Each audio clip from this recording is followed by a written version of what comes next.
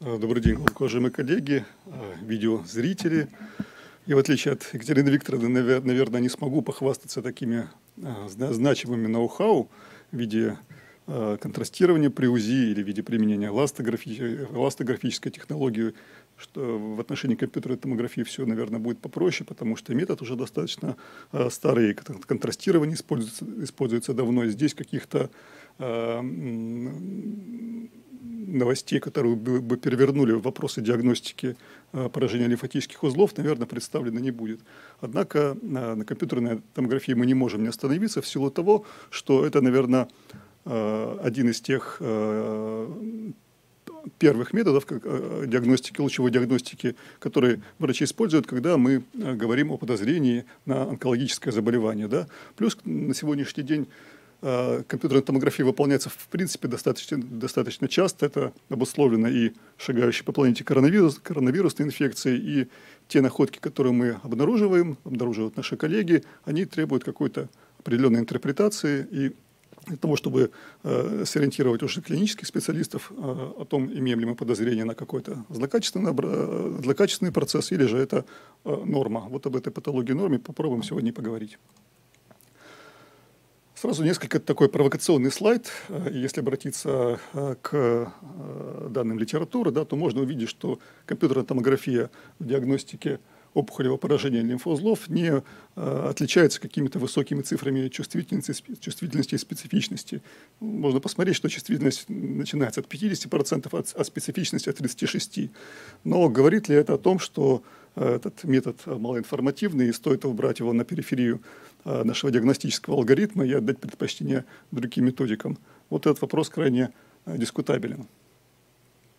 Для чего же, в принципе, мы выполняем э, компьютерную томографию, почему э, мы э, никак э, при всем желании не сможем ее исключить из э, алгоритма, э, диагностического алгоритма. Да? А, какие преимущества, какими преимуществами, преимуществами она обладает? Да? Это то, что мы, во-первых, можем хранить и воспроизводить данные. То есть мы можем пациента а, отсканировать, получить какую-то первичную информацию и даже засомневавшись в тех находках, которые мы обнаружили, потом выполнить контрольные исследования именно с соблюдением тех же самых параметров и полученные данные сопоставить и сделать какой-либо определенный вывод. Мы можем пойти и посоветоваться а, к коллеге и узнать, совпадает ли его мнение с нашим, если мы выдвигаем предположение о том, что лимфатический узел не поражен, а он, а, коллега тоже с этим соглашается, или еще другие тоже специалисты, то, наверное, все-таки есть некий шанс на то, что мы а, повысим этим точность нашего вывода.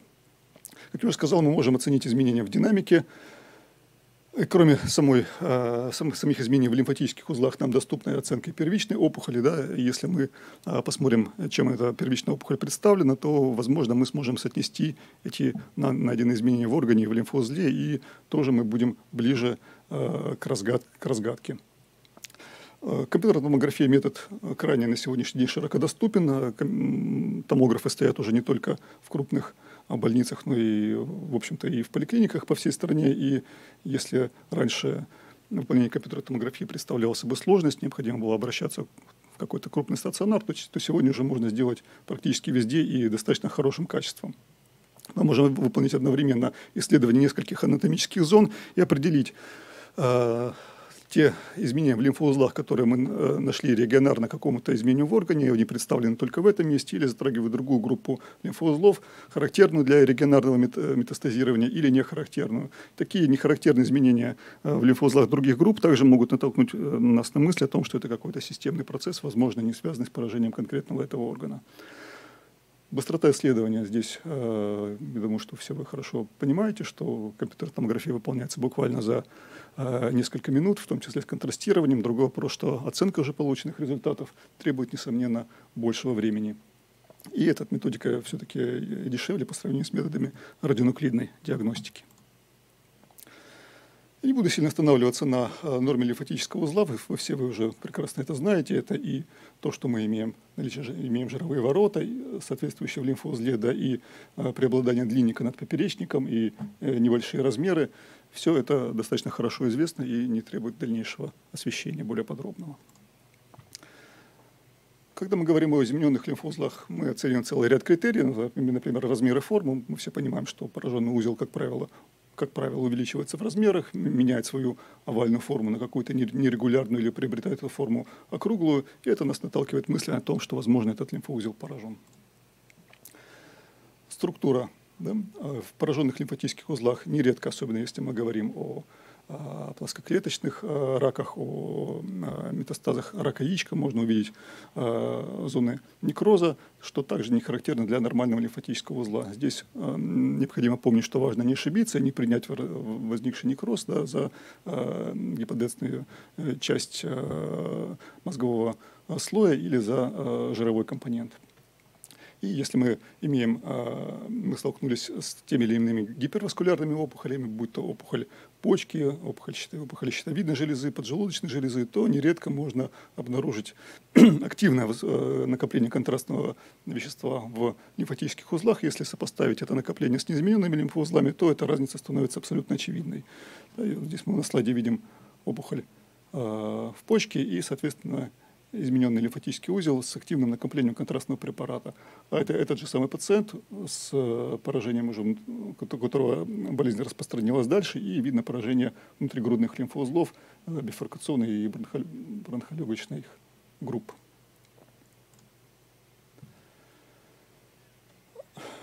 Также мы все хорошо знаем, что э, поражение лимфоузлов часто, часто сопровождается их объединением в конгломераты. Мы видим э, уже не отдельные расположенные лимфатические узлы с неизменной структурой, а представленные либо такой цепочкой сливающейся, либо какой-то массивным э, уже образованием конгломерата лимфоузлов. Да. Вот здесь вдоль аорты нижней половины практически все Э, жировое пространство занято, занято сливающимися метастатически измененными лимфоузлами. И также э, их банально становится больше, да, если мы посмотрим в надключичной области, то видим здесь целую группу, э, хотя и отдельных, но явно увеличенных измененных лимфатических узлов. Если так суммировать эту кратко эту информацию, то вот здесь на слайде представлена таблица, которая отражены характеристикой, характеристики распределения, размера, формы, структуры, контуров лимфоузлов и особенности контрастирования. Да. Говоря о распределении, мы уже сказали, что неизменные узлы либо разрозненные одиночные, а метастатически объединяющиеся в конгломераты. О а, размере а, как раз был Катерине Викторовне адресован вопрос. Здесь, э, кроме самого а, размера, надо еще понимать, э, для какой а, зоны э, эти, в какой зоне эти лимфузлы находятся, и, соответственно, изменение размера может быть трактовано по-разному. Да? Если это подмышечная а, область, то здесь и 15, и более миллиметр, э, миллиметров может быть вполне расценено как норма. А если мы говорим о лимфоузлах регионарных, например, к прямой кишке, то там уже изменение и более 8 миллиметров уже может нас, поселить у нас подозрение о вторичном их поражении. А, отношение длинненько-короткой оси мы уже озвучили, про форму поговорили, про структуру, как уже э, отмечалось, что гетерогенная структура, отсутствие жировых ворот, э, наличие э, некрозов или микрокальцинатов, если это для этой опухоли характерно формирование кальцинатов, и про контуры контрастирования тоже уже говорили. Ну, если бы было так все, все просто, мы взяли некий набор готовых Э, критериев, да, по ним оценили и поняли, что этот узел поражен, а этот не поражен, то и э, вопрос был бы закрыт, мы бы здесь не собирались и не обсуждали сложности диагностики э, поражения лимфоузлов при опухолевых процессах. Вот пациент, страдающий лимфомой, да, на первом изображении виден Э, лимфатический узел, расположенный в брыжейке тонкой кишки, большой, увеличенный, контур у него нечеткий, ну, наталкивает нас на, том, на подозрение о том, что это опухолевый процесс, что и было подтверждено, потому что в целом пациенты поражены не только, не, не только эта группа лимфоузлов, из другого лимфоузла было э, добыто, добыт э, морфологический материал для морфологического исследования. И на фоне, на фоне лечения отмечается редукция этого лимфоузла. Здесь уже такого большого не видно. Вот виден какой-то вот небольшой узел. Однако э, в ходе в процессе динамического наблюдения у пациента отмечено увеличение э, лимфоузлов, да, что натолкнуло э, и диагноста, и клинициста на подозрение о том, что не возобновилась ли болезнь. И каким-то образом, конечно же, прежде чем нам назначить повторное лечение, необходимо этот процесс верифицировать, потому что все-таки мы понимаем, что несмотря на то, что эти изменения крайне схожи, все-таки, может быть, это представлено каким-то Э, другим процессом. И пациенту выполнена операция. И так, так, так. Где моя мышка? Потерял. О. Это, видимо, не так я делаю.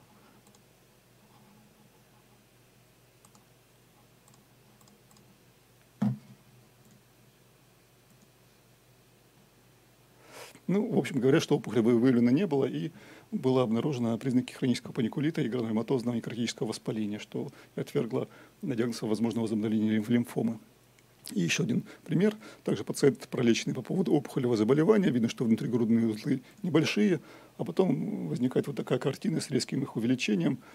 А, даже и контрастный препарат, кажется, что, в общем-то, накапливают. И тоже возникает вопрос на рецидив болезни, на то, что это а, метастатический процесс. Но при гистологическом исследовании обнаружено а, реактивное изменение и саркоидная реакция. Я не буду сильно подробно останавливаться на э, лимфоузлах э, шеи, на классификации, потому что это, э, это будет более подробно освещено э, в докладе, посвященном, посвященном МРТ-диагностике. Ну, тут быстренько мы пролистаем эти картинки. Видны лимфоузлы вдоль, вдоль э, э, сосудов шеи, явно измен, с измененной формой, большие, множество, многочисленные – но э, сильно заострять на этом внимание не буду, будет отдельный доклад. Что касается э, рака легкого, то здесь принципиальным э, э, для нас моментом является э, установление наличия измененных лимфоузлов в N3 группы, что уже является показанием к тому, чтобы пациенту проводилось не хирургическое лечение, а химиотерапевтическое. Поэтому здесь краеугольным камнем как раз является перечисление лимфоузлов по группам, чтобы кроме оценки первичной опухоли у врача-клинициста был арсенал для того, чтобы провести классификацию и стадирование и по N-критерию. Ну, тоже небольшой пример. Э, периферический рак нижней доли правого или правого легкого. И попробуем поискать лимфоузлы. Да? Вот верхние, верхние, верхние правопаратрахеальной группы, вот уже появля, появляются они, да, измененные лимфоузлы, гетерогенные структуры, здесь контуры их нечеткие, накопление контрастного вещества отмечается, все то, о чем мы говорили. И нижняя, нижняя, нижняя паратрахеальная группа то же самое. Видны, видны еще э, преваскулярные лимфоузлы в переднем средостении, это третья, третья, третья группа, и подозрение тут можно еще высказать и на поражение пятой. И отпускаясь ниже, видим мы, что и, и четвертая группа, правая группа лимфоузлов поражена, и, соответственно, лимфоузлы корня легкого, и, которые уже расположены вдоль а, соответствующего бронха, а, 11-14 группа. Оп, перескочил. Говоря о э, диагностики поражения лимфоузлов при раке пищевода, прежде всего нам необходимо определиться с локализацией опухолевого процесса, потому что это будет э, сильно влиять на э, критерии энстадирования. Да, если это верхний грудной отдел пищевода, то мы имеем одни регионарные узлы, а другие уже будут являться отдаленными, если средний грудной отдел.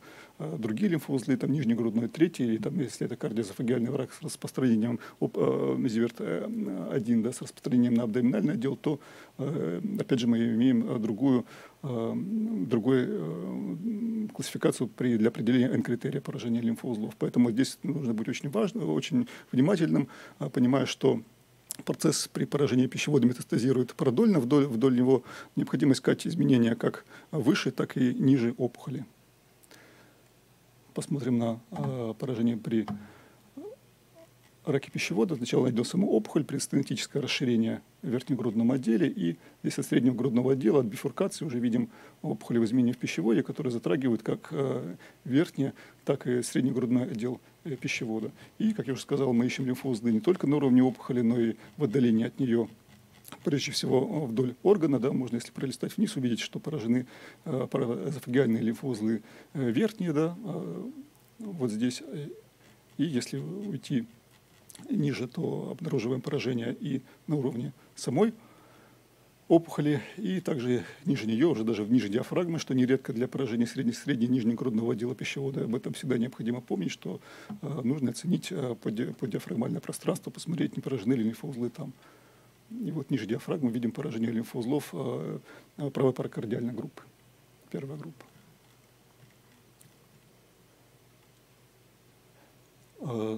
Примерно та же примерно та же история и для рака желудка. Если мы обратимся к национальным рекомендациям по диагностике и лечению, то видим, что Э, выставить соответствующий э, N-критерий при, поражениях, при поражении различных отделов э, желудка достаточно сложно. Это под силу, наверное, только тому по памяти сделать, кто, не, кто занимается этим каждый день.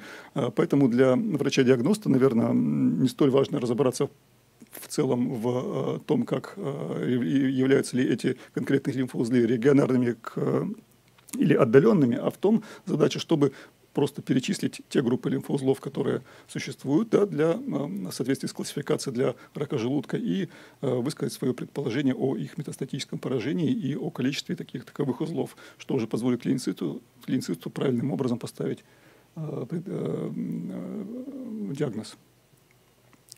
И тоже пролистаем быстренько клинический пример.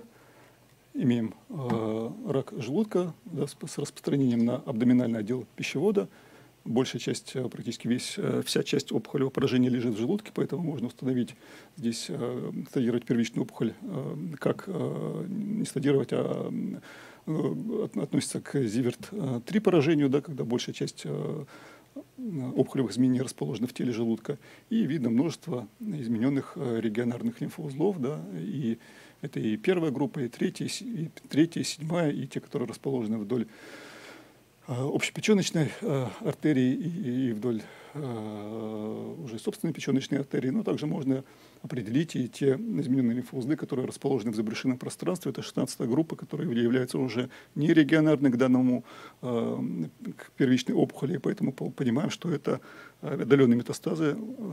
Пациент имеет неправильную стадию М1. И буквально несколько слов по поводу кишки. Здесь э, примерно вся та же история, что и, и применимо к желудку. Кроме того, что э, нам, нам, нам необходимо, необходимо определиться с локализацией первичной опухоли и, соответственно, к тем, э, описать те регионарные и отдаленные лимфоузлы в зависимости от, э, от того, где эта первичная опухоль расположена. И привести то количество лимфоузлов, измененных, которые мы, мы считаем, что поражены. Это также позволит провести необходимое стадирование. Да? И вот э, представлена представлен клинический пример. Видна опухоль э, в слепой и, и восходящей ободочной кишке. Видны измененные регионарные лимфоузлы 201 группы, 201 группы и, и, и, 200, и 202 тоже группы. Да? Ну а выше, выше уже лимфоузлы не изменены, то есть это, э, это процесс э, потенциально операбельны в данной ситуации и не требует проведения химиотерапевтического лечения в, в, качестве, в качестве первой опции к проводимой, проводимой терапии. Ну, на этом решите закончить. Спасибо большое.